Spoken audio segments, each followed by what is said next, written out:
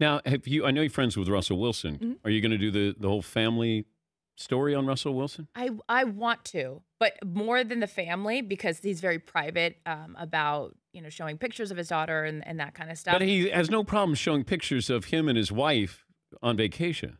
I think there has. Here's the thing, and a lot of, and this is what I learned in covering celebrity news. Some people are very, very protective of covering their children's faces, and anonymity is. I I don't have children, so I don't pretend to give anyone a lecture on what they want to do with their child or if they want to put them out in public or not. So I don't touch that one.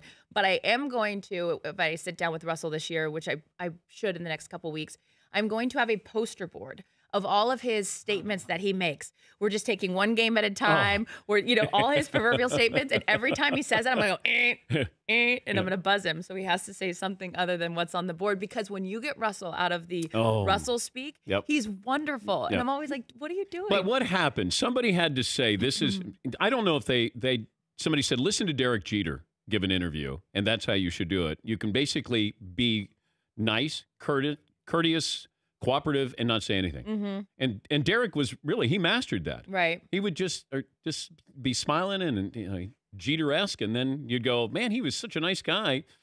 He didn't say anything. Didn't say anything. Yeah. Yeah. Well, it's so interesting. I- mean, we obviously love the athletes, the Rob Gronkowski's, like the Richard Shermans, the people that will just say whatever, right? That's a dream for us because we're like the cliches. Even last night, Alex Smith had such an incredible game, and I was watching the post game interview, and it's all of the, you know, we're just we're in all three phases, the team first. It's like all that stuff, and it's like, of course he has to say that.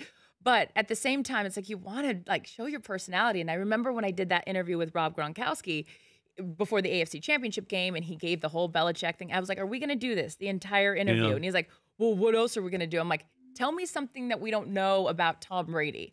And he's like, "Well, he doesn't shower after practices." I was like, "Now we're getting somewhere, folks." But it's like, and then we got, in, and then I got in trouble, like, "Oh, Rob Gronkowski and Charissa flirting the whole interview," and I'm like, "Oh, come on!" Like, I just wanted something other than the like proverbial like coach, you know, speak stuff. Did you say you weren't flirting with Gronk?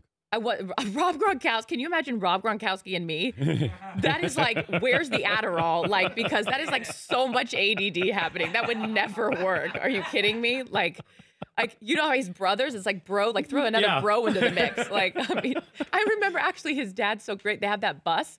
And Yeah. his oh, dad, after the interview, was like, "Come out to the bus and party, like tailgate with us." Got a was like- kegger. exactly. I was like, "God, this family's Keg amazing. stand. Who wants to adopt me?"